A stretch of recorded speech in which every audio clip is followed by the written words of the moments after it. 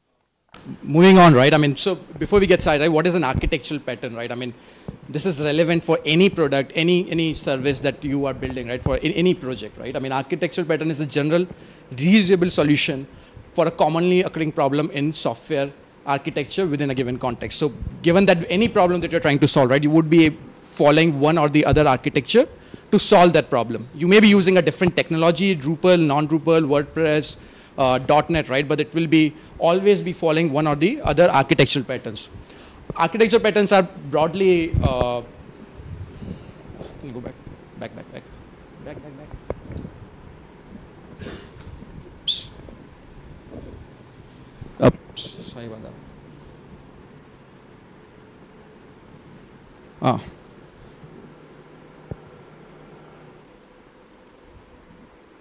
So, uh, sorry, I messed it up. Yeah, Google Chrome. I'll go back, back, back, back. Yeah.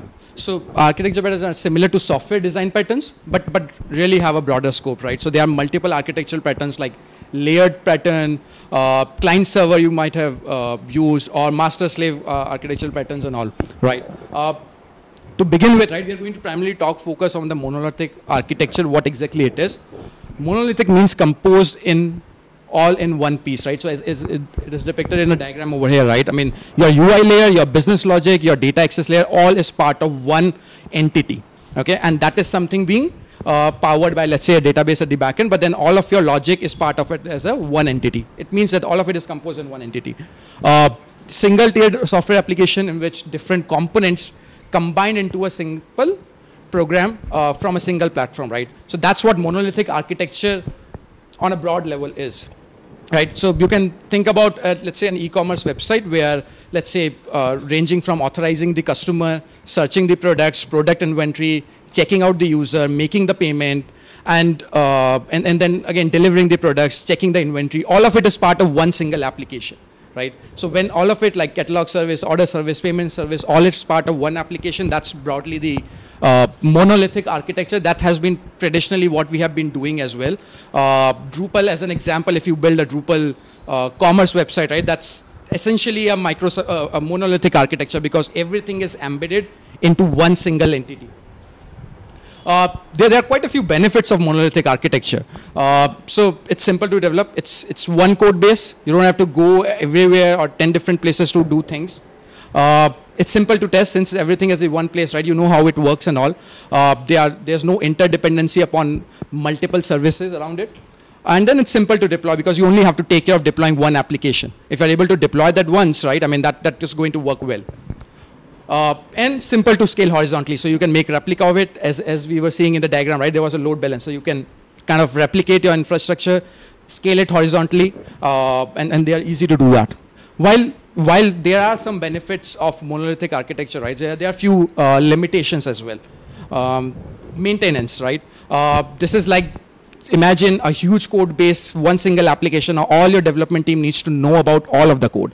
You are not sure touching this component what what kind of what what effect it will have on the other components. So I remember working with one of the uh, uh, major telecom company in India.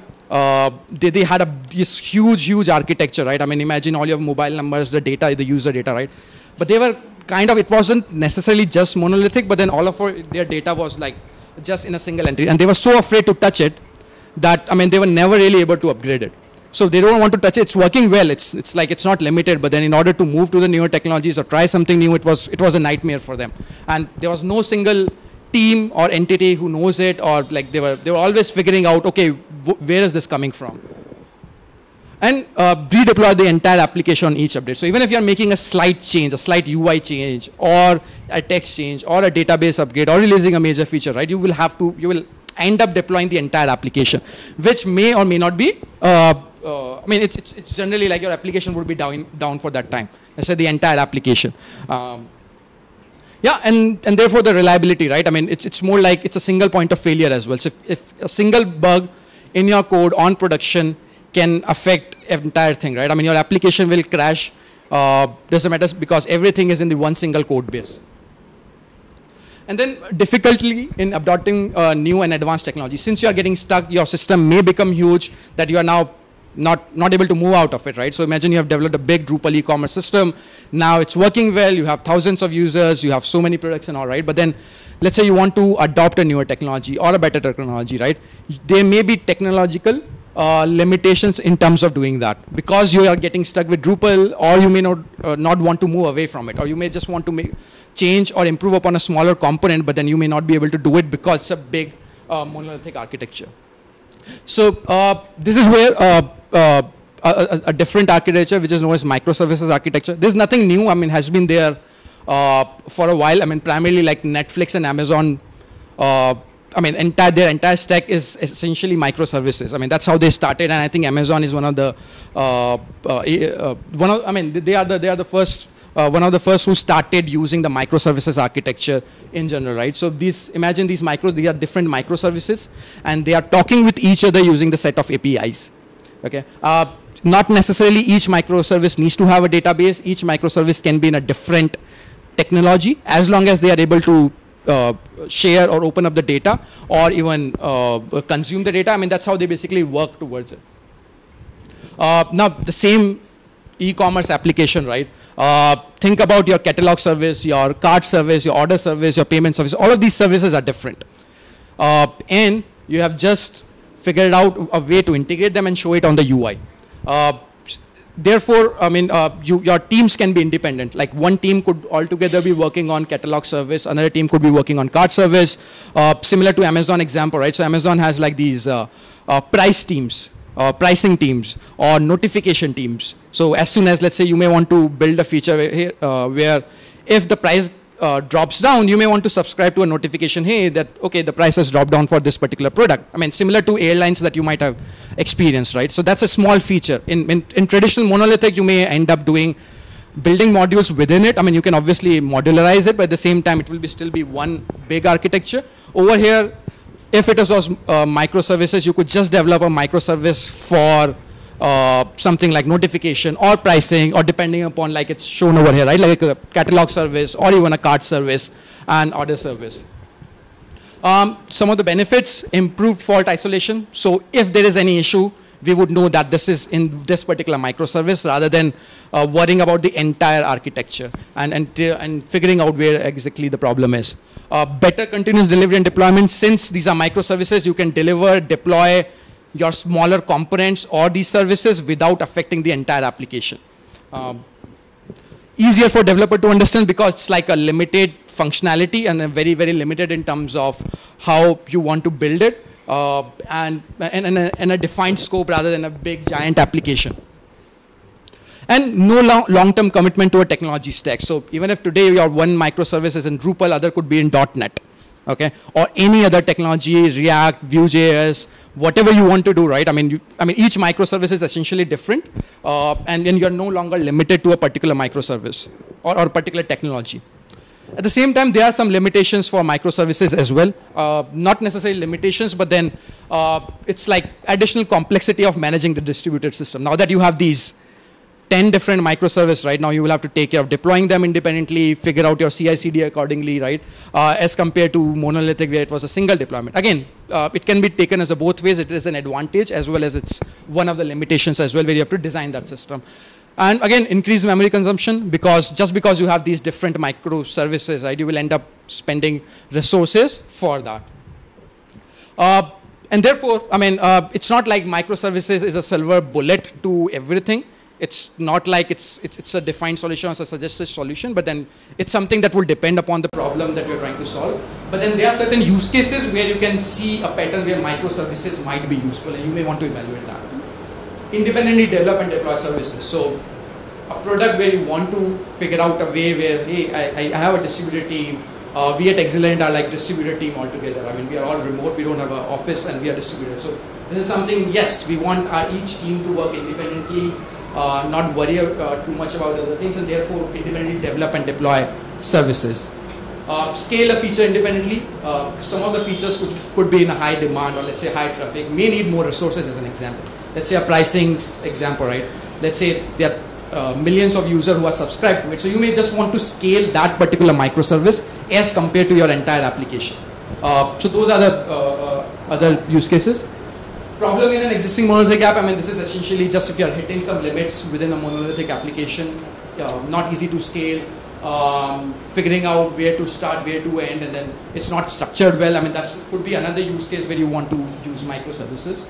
Uh, application design considering failure in mind. So uh, the same uh, benefit that you get with mono, uh, microservices is like each service is independent and therefore even if one service goes down, it's not like your application is down.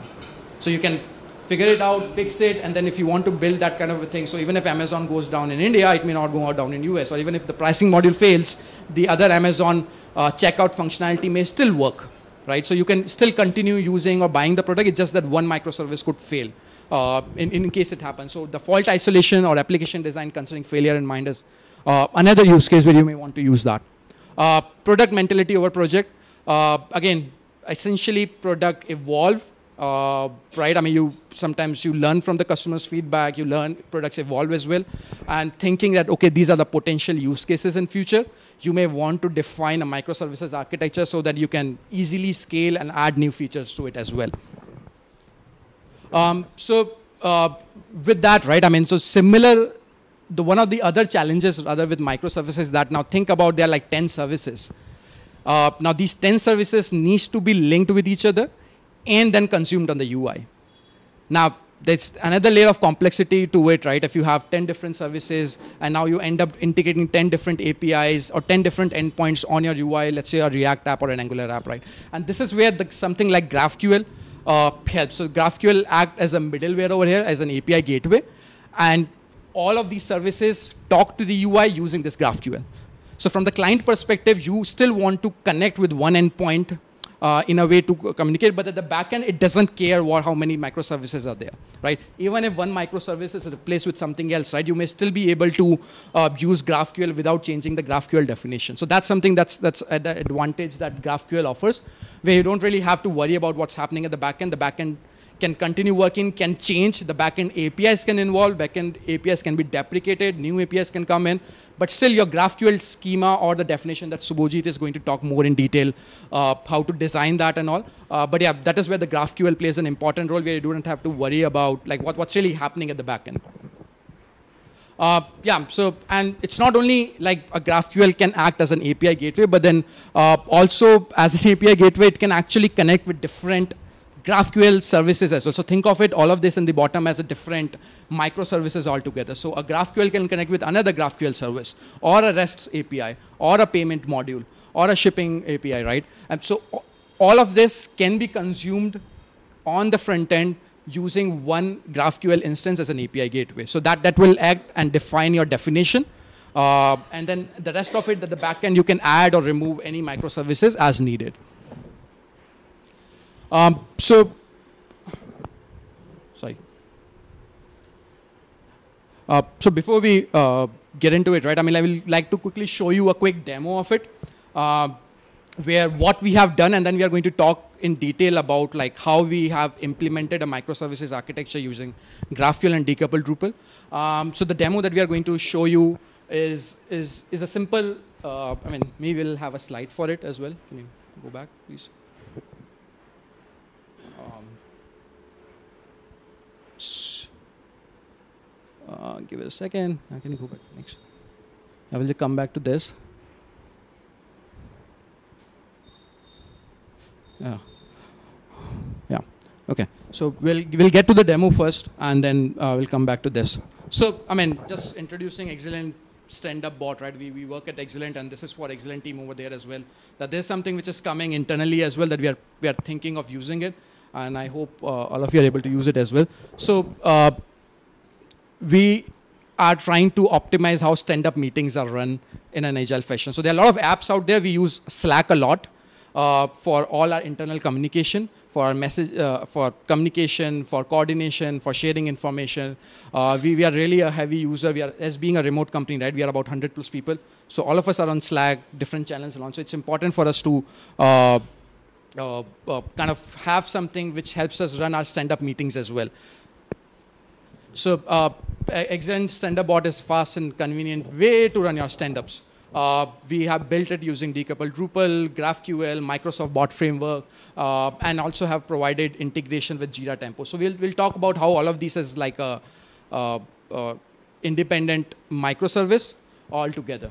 So if you can like quickly uh, and, and, again, the bot's behavior can be customized. So, I mean, the same bot can be used by your organization as well, while or a different team in a different manner. Hey, you want to run a stand-up at like 10 a.m.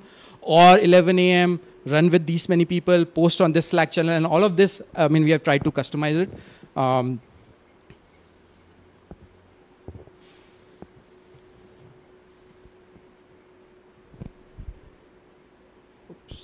it's on the different screen, I guess. Okay, we are just trying to restart our Slack.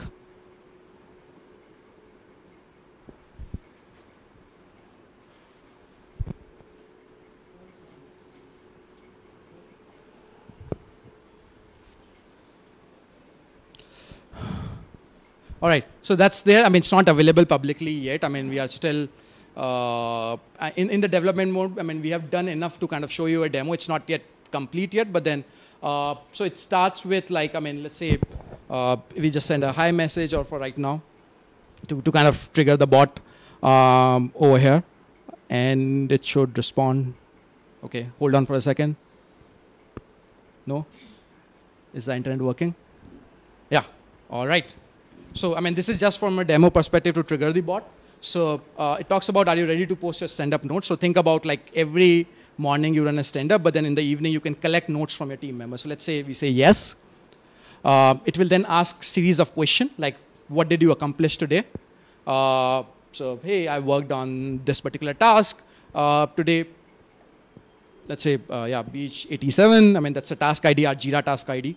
Um, then it is going to ask a next question like, what are you planning to accomplish next?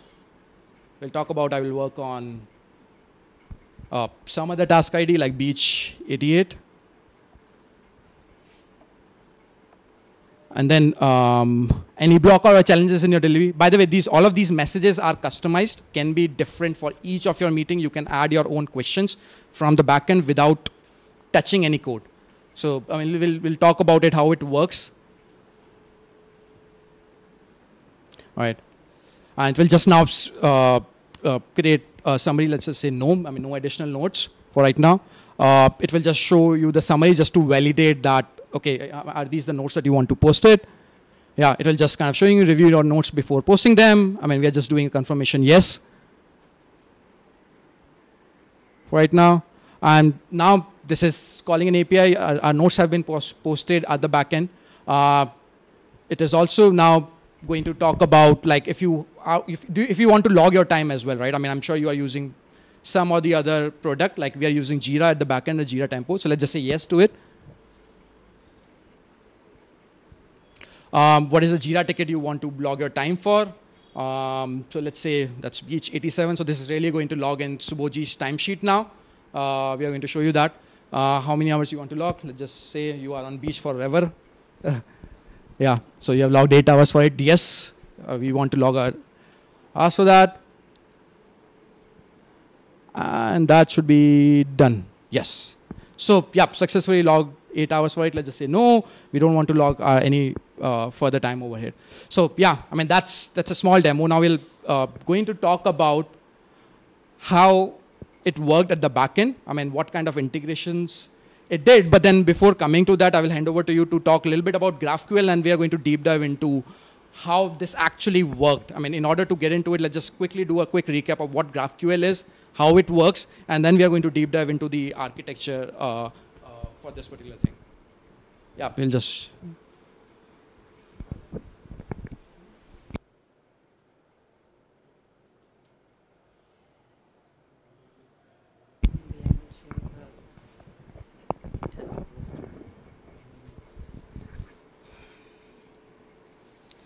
Okay, uh, so now we have learned what uh, what various uh, what various kind of uh, arch architecture patterns are available and uh, we have also learned how GraphQL can be used as a service in that pattern. So now uh, let's let's learn what GraphQL is. So GraphQL it's a query language for your API. You can understand it as a simple SQL query where you can um, where you can mention the uh, name of the table. here it is author uh, uh, from which table you are going to fetch the data and you can specify the, that where clause uh, inside this parenthesis and you can mention what all attributes you can fetch uh, you want to fetch from from that table. GraphQL is going to return a response like this. It's a JSON response, and it will return only the data that you have uh, specified in this uh, query. So uh, as we as I have mentioned this uh, name uh, attribute, so it will only uh, return uh, this name data uh, in the response. And yes, and so now you might be thinking GraphQL as as a query language for for an API. We can also write APIs using REST. REST. So how, how REST uh, APIs are different from GraphQL APIs. To understand this difference, let us consider a scenario where you want to build a mobile application and you want to build an interface where you want to show a list of players and uh, with their information. So uh, if you want to build that interface with uh, REST APIs, then I think you, you are going to need three endpoints for uh, fetching all the necessary info information for building that inter interface. So uh, uh, yeah, let's suppose uh, you will need these three APIs. So first API will, will uh, fetch all the players information. The second API is going to fetch all the teams information. And the third API is going to further fetch all the matches information where uh, the player have, which the player has played so far. And you can see that you will have to call three APIs just to build a single interface. While if you have, if you would have used GraphQL, then this same thing uh, could have been done just by calling a single API like this. You will just uh, uh, mm, execute this single query on the GraphQL server and it will return all the uh, required information uh, for building that interface. So suppose you want to uh, fetch also fetch the display uh, picture of that player. So you can uh, easily uh, specify it under this name attribute. Name attribute is for fetching the player's name information. Similarly, you can fetch the other information for the teams, for which teams that, player is playing and how many matches he had played so far. So uh, you, as you can see that it obviously uh, mm, uh, it is obviously better than REST APIs since instead of calling these three APIs, you will just have to call a single, execute a single query to build that front end. So the network requests are going to be reduced, and uh, there is another advantage of uh, rapid iterations on the front end. This means, uh, suppose uh, we have we usually have the tendency of uh, building the REST APIs according to the requirement of the front end. So suppose you want to revamp your front end, your front end interface later in the future, then you would have to come back to the REST APIs to the backend to uh, design the to change the design of the REST APIs accordingly to, to fetch the extra or less information uh, that that would be required by the new backend.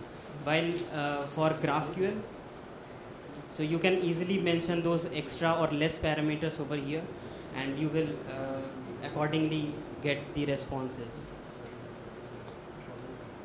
And uh, there is another benefit of optimized network bandwidth usage. This means, um, so uh, if you have used REST APIs, you, you will uh, notice that it is it always returns all the uh, information whether uh, you are going to need it or not. So i i i the payload is very much uh, payload is always same and you might not need all the information that is provided by the REST APIs. But in GraphQL, you can see that um, we have uh, seen it over here. So since we have mentioned only the name parameter, so the response will contain only that name parameter. So no, I mean uh, exact the information that you want. So that obviously uh, uh, helps to optimize the network bandwidth usage. So uh, it can easily be it can easily be uh, uh, I mean it, it helps on on I mean it helps on um, optimize it helps in optimizing the network bandwidth and uh, so it can be used in uh, places where the uh, network I mean the mobile network is uh, not uh, fast so in those cases GraphQL wins. Now we have already seen this bot in action, and now So yeah, now, now that we have seen the bot, right, how it worked, how it posted your stand-up notes as well as uh, uh, your, your hours, right? I mean, we'll just see the backend part of it, like what really happened when we did that on Slack, right? What really happened, how the data went to the backend, uh, and we're going to uh, quickly see that. So if we can, uh, so what we have uh, done is at the backend, it's really, I mean, wherever these questions are being defined, the stand-up questions, it's our Drupal interface where we have just defined a new stand-up meeting. We have defined the time when that stand-up happens, and we have configured what all questions would appear uh, in, in this stand-up. So let's just refresh it. I mean, it should really show the notes that we posted right now. Um, all right. So yeah, this is what Subhojit posted while during the demo. Uh, yeah, and, and what really has happened is, I mean, let's show how we have defined these questions in Drupal content type. I mean, if you can just quickly uh, open. So this is where we define, I mean, like our schedule, like on, on 14th run between 2 to 2.30, uh, runs every weekday. The channel ID is nothing but our Slack channel ID. Uh, the entire integration is not there. We have not really shown you how it posts the notes on Slack itself. That's that's one part that is uh, uh, pending. I mean, uh, but then what we have shown you is just the summary of it on the Drupal side. Now, our, I mean, from the product point of view, our next point is to post these notes on Slack itself so that we don't have to come to this interface. Uh, and then again, these participants, so whoever with whom we want to run these stand-ups again. So we use, I mean, these other Slack bots like Alice and Howdy. Uh, I'm not sure how many of you use that. Uh, we use that very heavily, but now this is something we thought that can be customized. uh, and, and we built according to our use case. Um, so uh, as a next step, right, we also uh, can show you how we have done the Jira tempo integration over here. So let's just, yeah, it should have logged eight hours that Subhojit was on beach. Um, okay, only if internet works. All right, so that, that's our timesheet that we kind of uh, generally use Jira Tempo and then it should be here, right? I mean, Beach 87, we just logged it uh, for today uh, and, and that's right over here. So a single interface. So a lot of these bots that exist are only to collect these notes. What we are trying to do is build these microservices around it. Currently, our Jira Tempo is one of our microservices that we are consuming. We have built an architecture in a way so that in future we are trying to integrate with other microservices as well. We would be able to do that. And uh, if we can like switch back to our presentation, we can quickly talk about it. Um, yeah, so these are like few screenshots that we have done. So this is what on happens on a high level. Your Slack is there. We have built our bot logic using bot uh, engine. I mean, that's like Microsoft bot framework that is deployed on Heroku, Node, and uh, uh, yeah, Heroku and bot. We have GraphQL in between. Uh, and then think of Tempo, Jira, and decoupled Drupal as our microservices. So we have not built all of these microservices. Tempo and Jira already exist. Uh, decoupled Drupal is something that we have built at the backend. But then all of these services are then consumed by GraphQL, and our GraphQL endpoint APIs are being consumed in our bot engine, which is developed in Microsoft Bot Framework. It's an open source framework. Uh, uh, yeah, it's a simple Node.js application. And then again, it's, it is being used to uh, do and communicate between Slack. Uh, yeah. Thanks. So um, now let's see how we can set up a GraphQL server. So for setting a GraphQL server, we are obviously obviously going to need this uh, GraphQL engine. Um, so this uh, engine, this library, it uh, accepts the query and then parses it and executes it. Uh, and uh, for setting up the server, we have used Apollo server. So Apollo server, uh, we have found that it is an easy way to create a GraphQL server and uh, we are running uh, that server on top of Express.js. Uh, but you can also integrate this, customize this uh, Apollo server to uh, uh, so that it works with uh, other uh, Node.js web frameworks. And for connecting this GraphQL server with the other microservices, the um, uh, uh, decoupled Drupal and then Tempo and then Jira, we we, uh, we are using this library Apollo Data Source REST. So uh, this library, this uh, library execute the REST APIs that is provided by the third-party services, and it uh, returns the response. Now uh, let's see some of the uh, basic and important GraphQL concepts that I've came across while working on this Slack application. So first, uh, uh, the most important is a GraphQL schema. So GraphQL schema, uh, it's actually a representation of the data that your service uh, is going to provide. So uh, in that Slack application, we have seen that it uh, returns a set of questions. So those questions are, are represented by, represented by the schema in the in the GraphQL. So if you see the code,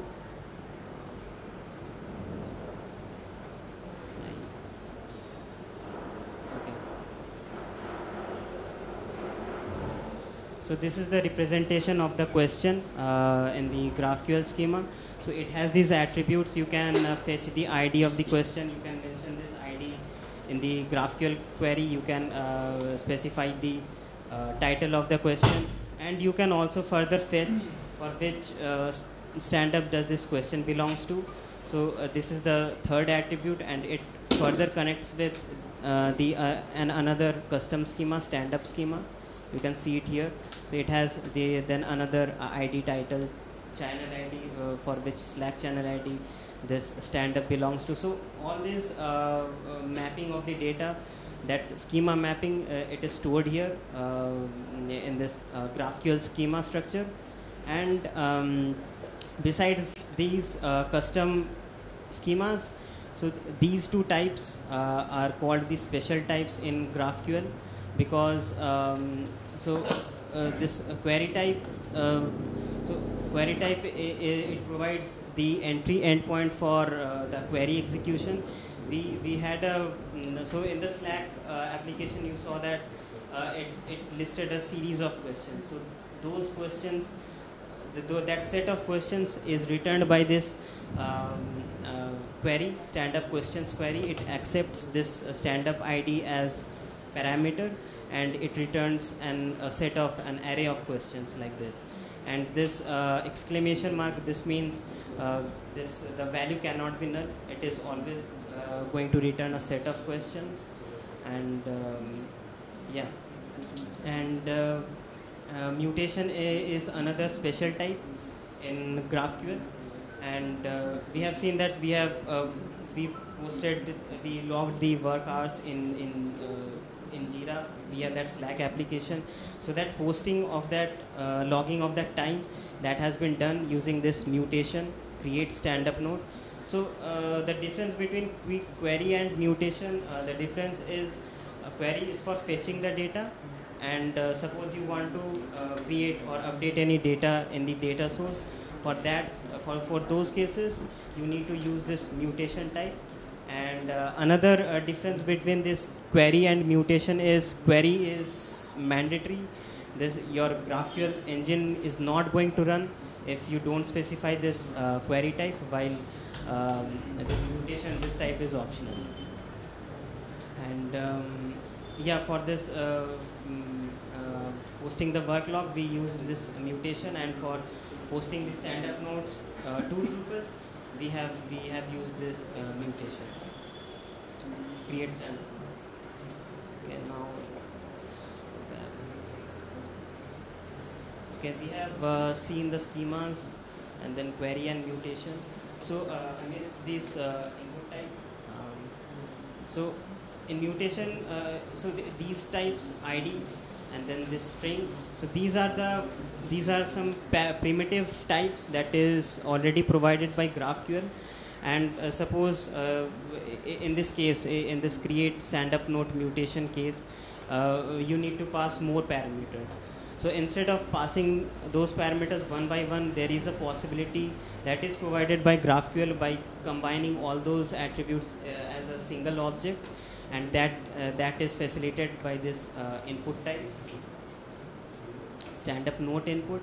So uh, you, this stand up note in, input accepts this question id for which question uh, this stand up note is going to be posted uh, for which meeting it, it will be posted and the stand up notes that uh, uh, that i uh, entered in the slack application. So all these three parameters uh, can be passed as a single object uh, to the to that mutation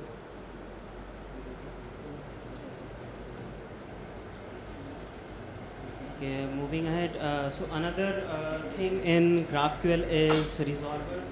So suppose um, uh, you have, if you have written a REST API, then uh, then uh, you will need a resolver for, I mean, a route handler for uh, for that REST API. So it, it, it would look like this. So uh, th- this is the name of the endpoint and the parameter like this. You need to provide it like this, and then it will call a function where it will fetch uh, the necessary information from from uh, from the database or by calling a REST API or something. So uh, similarly, for uh, you can understand GraphQL resolvers as route handlers in mm, uh, route handlers for in GraphQL, and uh, so uh, the GraphQL resolvers. So these uh, resolvers provide the ma- mapping between the functions, the callback functions, uh, and the uh, query or um, mutation types. If I go back to that code, uh, I have written some uh, resolvers for that uh, retrieving the set of um, set of questions for, for a specific stand-up. So it, it calls this uh, function for fetching the list of questions. It calls uh, a REST API that is provided by uh, decoupled Drupal. It calls this uh, questions endpoint and it returns the response.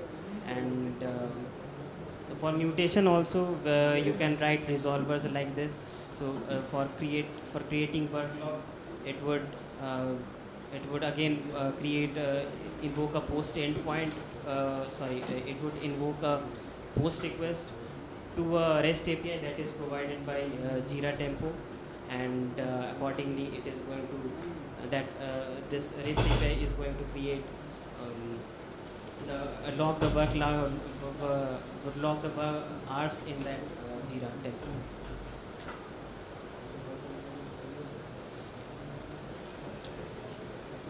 We have seen uh, what resolvers are, and uh, so we have already seen this. So uh, this is the GraphQL server that we have built, and it communicates with the other uh, services. Uh, one one server that is running Drupal decoupled Drupal, and it provides the REST, REST endpoints for um, for the stand-up for the stand-up uh, nodes and everything.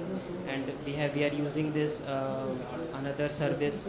Uh, uh, for uh, logging the work hours and similarly you can integrate other third party services you can also integrate a database so that that graphql server will just uh, query this database and it, it can fetch the information. Uh, so similarly you can uh, integrate uh, multiple services uh, with that with this graphql server. You just need to uh, use the right uh, packages. So, uh, so now you might be wondering, uh, we, we have uh, done this, uh, done that uh, GraphQL server setup using Node.js. How, how that is different from what we if we would have used uh, Drupal's GraphQL module? How it would, would have been different? So technically there is no difference. Only difference would be um, so. Uh, we, we have seen that GraphQL and uh, decoupled Drupal both are running in uh, separate servers, while uh, in this case the GraphQL server is going to be run uh, in the same server where Drupal is running. That is the only difference. And I have uh, I have already explored um, this module with help of Mohit, my colleague. And uh, I have seen that uh, there is also the possibility of um, integrating third-party REST APIs uh, with your integrating third-party REST APIs as a GraphQL data source. Uh, it's it's possible, and uh, that can be done using plugins. And uh, this module uh, automatically exposes the existing content types as schema. So uh, we have written everything from scratch. The schema we have written everything from scratch. But this module, it will automatically convert those content types into schema. Um, yes, uh, these are some uh, necessary uh, uh, links that we followed for building that Slack application, and you can also follow them for learning GraphQL and setting up GraphQL as microservices for an for an application. Okay, thank you. Any questions?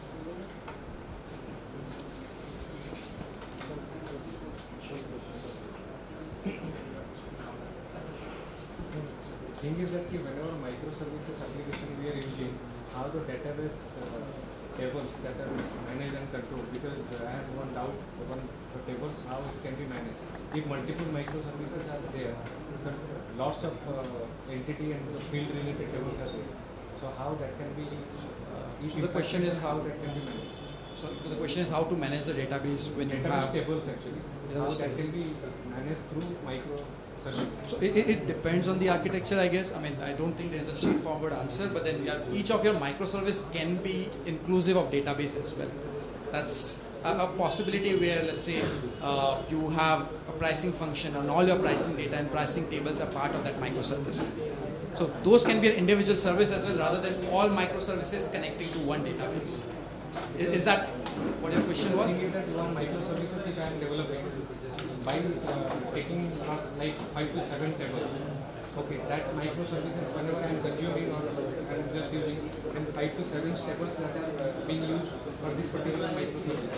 And when another microservices is being developed, and if the same table I need to use in that, So it, it yeah, so so probably you don't need a separate microservice in that case. Ideally, you want to separate out the data as well for each microservice. So if there is a same functionality, you might want to kind of combine them and then put it together as a one microservice. So as long as these are independent, those has to be independent, reusable components. So I mean that's what again. There's no hard and fast rule over here. Uh, but then I think in my experience, I think it would be better if you design combine these two things and put it as a part of one microservice. Uh, that's one way of doing it, or separate out the data. Okay. Or the other way is more like uh, like uh, I, I know for example like Amazon uses that like it, has like huge data. Each of these services have their own data as well, but then if there is data that needs to be shared, right, they broadcast it. So one of the service responsibilities is to broadcast the data, and other services who want to make use of it, they just listen to it, and other services can ignore it. So that's one way of doing it, but then again, it would depend upon the use case specifically. that you're in. Drupal actually all the fields having all, I mean, Yeah. different tables. Correct. So So that is the thing. Yeah, so what so what you're saying is that so uh, remember Drupal and Drupal's database is one microservice for us. Jira is another microservice and Tempo is another microservice. So we are not distributing within Drupal and then having those 10 tables within Drupal. Does that answer your question? Anyone else? It is best, uh, best practice to add the Drupal as a monolithic application. It is the best practice to add that Drupal as a service because it's it's binary taking the its uh, MB size, right? So it is not best practice to make the Drupal as a microservice. So uh, I would say, again, I mean, uh, so uh, for us, the Drupal is just one source in the in the architecture that we showed, right? I mean, it just acted as a microservice for our entire architecture. We have not broken down Drupal further. What we have done is, like in Drupal, we have created the content, we have created our architecture, and we have exposed APIs on top of it. Okay, that is our microservice, which is inclusive entire Drupal database. It has a Slam stack. It's hosted on platform.sh. It, but then entire stack acts as our microservice to our the overall application. So we have not broken down Drupal So further. suppose in the future, my uh, the whatever that you have exposed these services uh, as a microservices, and my uh, users has ex- uh, exceeded like millions of requests is going up, then your uh, monolithic application will uh, expand accordingly, will like containerize exponentially. Sure. Yeah, yeah. I mean, yes, you can. I mean, you can just reuse that same microservice. So if let's say that particular API is kind of highly used, you can just scale the Drupal microservice. Okay. So rather than worrying about let's say Jira and Tempo are not used so much as an example, right? So they can remain on let's say a, a kind of limited infrastructure, but then the other Drupal part, which is being heavily used, can be scaled horizontally or even vertically. I mean, the way we scale Drupal uh, uh, in a typical manner. Can we have a Drupal only as a microservice? Yes, Drupal. yeah, I mean, yeah, same example, right? So if you ignore the Jira time logging part over here, right? I mean, let's say there was no way to log time on Jira. That is where only Drupal was used as a microservice and its APIs were consumed by GraphQL and then GraphQL APIs were consumed by our bot, uh, which then ended up communicating with Slack.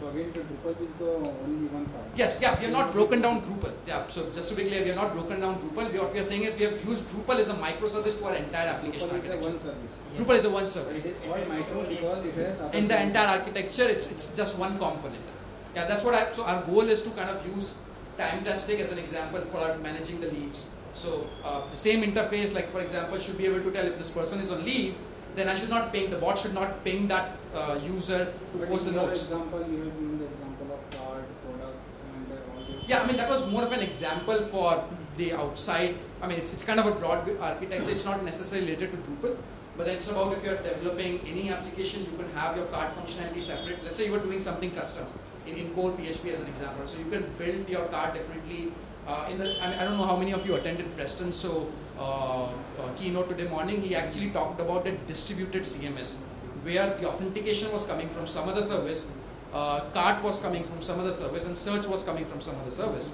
So it's very, very similar to that.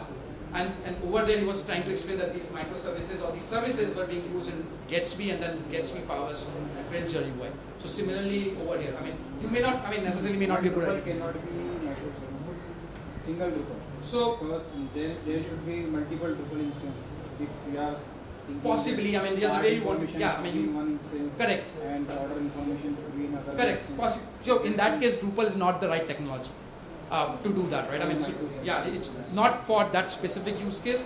Drupal has a lot of good values, but they're not necessarily just to use for cart functionality. You may want to use Drupal. So Drupal is good at CMS, and that's what we have done.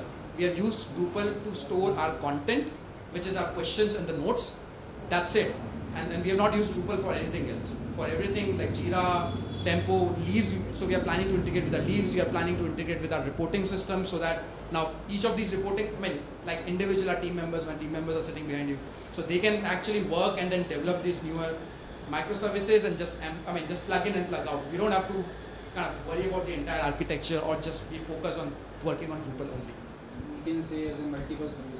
Possibly. I mean, if it makes sense, we will make another microservice as well. creating one platform, then it is multiple services. Yes. Some other other platform. For service discovery, what you are using? Sorry, what? Service di- discovery. Uh, service discovery. What do you mean? Service discovery microservice term, we expose the services to the end user, like my, your Netflix, you are using Netflix and they're exposing their services to the end user.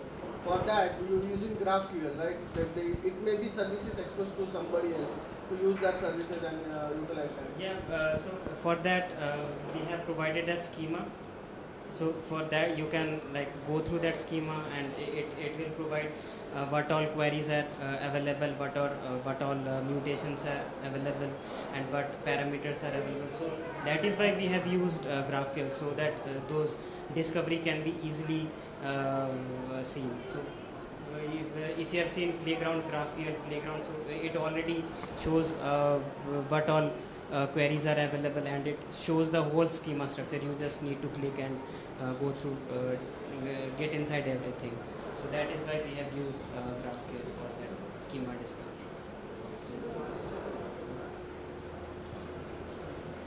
Anyone else? Uh, all right, okay. Uh, thank you for being here. I mean, uh, thank you for your patience.